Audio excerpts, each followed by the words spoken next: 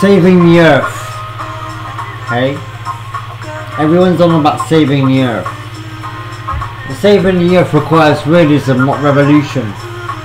What needs to take place worldwide and everywhere, from dinner tables to big business, is a series of meetings and reviews with overall conclusions and evaluation, then consensus. How to save the planet realistically, realistically by Marouane Derfoufi. It can be done. To Stephen Hawking. Last words. He suffered a heavy defeat, Stephen Hawking. Motor neuron disease. But he went on to study his doctorate at Oxford, got his doctorate, wrote a book called The Theory of Everything. So it can be done. So Stephen Hawking's last words. It can be done. Our planet. One home. One humanity. One love. What have I learnt so far in 10 years? By watching humanity, I've learned that if the deepening climate crisis teaches us anything, is that we are embedded in the natural world and ignore this reality at our, at our peril. Climate change, of course, is only one facet of the planet's poor environmental health. The other major ecological emergency is collapsing biodiversity, which threatens the innumerable benefits humans obtain from nature.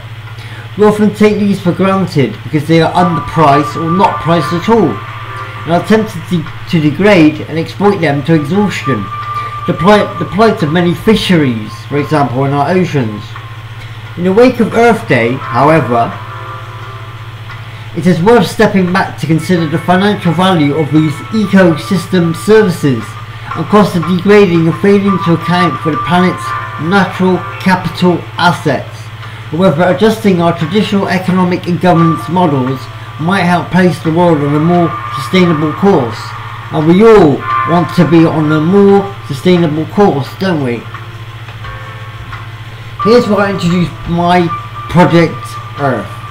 Project Earth. One Earth, one humanity, one man, one mission, one project. About Project Earth. I started Blue Sky Technologies, Technologies back in 2010 and I present to you Project Earth. It resulted from a result from blue sky thinking, no limits to idea creation and brainstorming solutions, to inherent local micro and global macro problems be they social or natural world, such as climate change. The real story. 2021 to 2031, a decade of climate change. Evident in the climate weather chaos of climate change, witnessed across the globe recently, and this will continue. Earth is at the tipping point. Listen to the science hearing in this speech. Time for world leaders to act now. This is Project Earth by me, Marouane Derfoufi, Blue Sky Technologies. Real story, decade of change. 2021 2031. We've got nine years left for drastic climate change. And these are the days wherein we will judge for ourselves whether the human race continues this is a time where we almost choose between the road that leads to death or the road that leads to life. We're at a fork roads now. We're at a fork road now, ladies and gentlemen. A forked road. One leads to utopia, abundance, life. One leads to death, dystopia, big brother, surveillance capitalism, and a slave of a workforce. Slavery. Humanity enslaved is where one road leads to death and one road leads to life. Choose life or death. It's a life or death situation but we haven't got much time. The time to act is now. Each of us, every single one of us to act now. Now is the time. Now or never. My Project Earth was conceived with a clear understanding that we are either conscious or unconscious participants in our existence. We do not exist in isolation. We are not separate from the totality of existence. The dynamic of Project Earth has always been based on the healing distorted concept of personal and societal isolation through the reintegration of the human species. We reintegrate with one another when we communicate. When we communicate. Communications. Then the warning signals can pass throughout humanity. Number one on my agenda. It is my conviction at Project Earth that without immediate radical change on the level never undertaken in any prior epoch in history of the human race, is in potentially terminal phase of a long and tragic decline, hurtling towards disintegration like a wave that's broken against the rocks the collective cultural and educational inertia. Humankind has the opportunity in this moment, right now, right here, right now, to transcend the errors of the past and participate in the healing of the damage. We're healing the damage and we're doing it right here, right now. We exist and we're healing the damage. Number two on my agenda. Exponential networking. Project Earth is a human design experiment.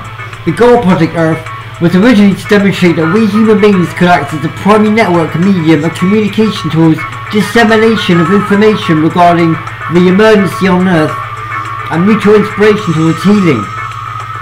We never had large central organisation. Our primary organising principle was shared with all life. It's our love of the planet, or one another that's our prime mover. We love this planet and we love one another. That's what moves us.